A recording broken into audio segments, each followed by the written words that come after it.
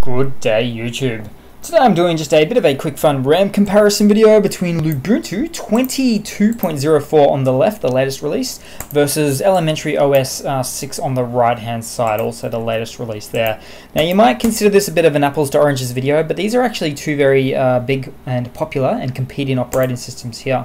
So they do run on different front end environments, but hey, it is what it is. They're both running on the uh, Ubuntu uh, back end though. So um, what I'm going to do is open up a terminal and type in the htop command, a nice lightweight system monitor tool running through the terminal, and we'll have a look here. So on boot up, Lubuntu is running at about 370 megabytes of RAM, whereas Elementary OS is running on about 712 megabytes RAM. So not quite double, but you are looking at about a good 300 or so megabytes of RAM or more on boot up there.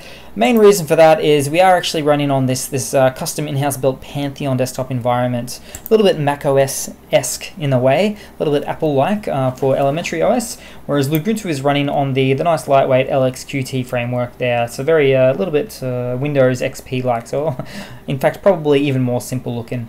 But always take these videos with a bit of grain of salt, guys. But uh, thanks for watching anyway. So please leave a comment, subscribe, hit that like button, and I do hope to see all of you guys there in the next one.